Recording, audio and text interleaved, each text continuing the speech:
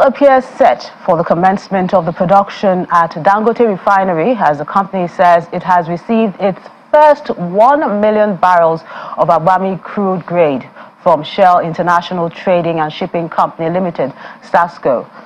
MT Otis multi-tanker, which carried the crude, was said to have sailed to Dangote Refinery's single point mooring, SPM, where it discharged the 1 million barrels into the refinery's crude oil tanks. The company says the inaugural 1 million barrel of crude supply, which represents the first phase of the 6 million barrels to be supplied to the refinery by several suppliers, should sustain the initial 350,000 barrels per day need for the commencement of the crude production at its facility. Our energy correspondent, Olu Phillips, has more. First crude oil to arrive the Dangote refinery, um, putting end to all of the speculations and months and years of construction, of visitation by government officials, and putting together all of those columns and all of those um, machineries that has translated today to the 650,000 um, single um, refinery and the largest in the world today. From the engineers and those who know, they tell me that that distance is about 13 kilometer for um, the longest um, traveling pipe all the way from that SBM into the refineries. And the size of that pipe is quite massive 48 inches in diameter for the crude actually five lines um, just uh, just to let you know. So three of those lines are for um, product export meaning that truly when this refinery um, commences in earnest and refines product it can export various variants of products through those three lines. And two lines are dedicated to uh, or for the crude import into the refineries and each of them are 48 inches like I said earlier uh, 48 inches in diameter. The export line uh, 24 inches in diameter. And all of these things have been carefully and uh, painfully and painstakingly um, in installed to make sure that this refinery everything it needs the jetty the refinery the transportation the piping the SBM is available and is ready.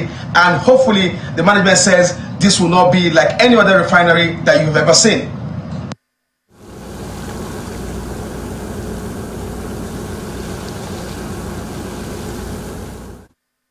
the Pioneer crude tanker that has brought the first 1 million barrels of crude oil for refining at the Dangote refinery, putting an end to months and years of speculations as regards the efficacy and the availability and the readiness of the Dangote refinery. Remind, let me also quickly remind you, there's a 650,000 barrels um, crude refining capacity and the single largest in the world today.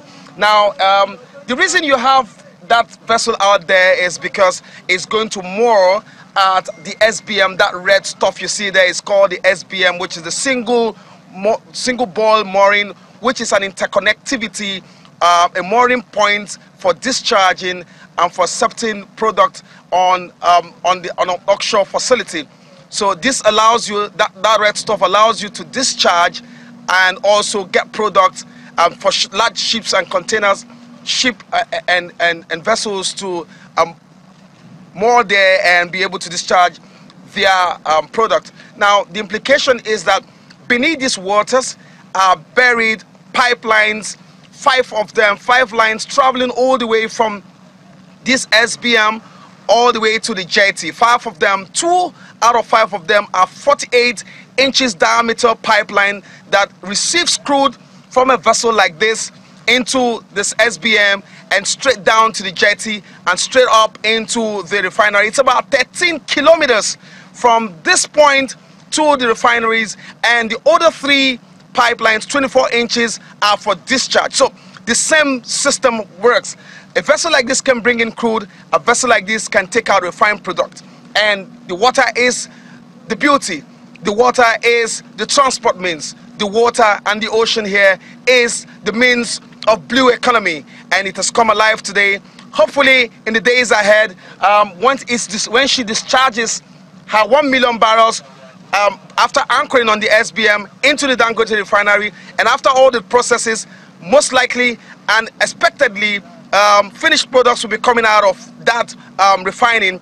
And we are yet to um, be, we are yet to know how many um, barrels, uh, how many liters of PMS, diesel, ATK and what are the other derivatives that can come out from this singular um, um, discharge that is about to happen here. So this is just a seamless way of bringing in crude and a seamless way of taking out um, refined product and hopefully all of the economics and all of these conversations around what will happen now that the Dangote refinery has started you can watch channels television as we keep you updated on what will be happening with those products and how that helps um, to saturate the market with um, the derivatives of crude oil. And that will be the first that will be happening in a long while, especially for refining, which is not happening in Nigeria for a very, very, very long time.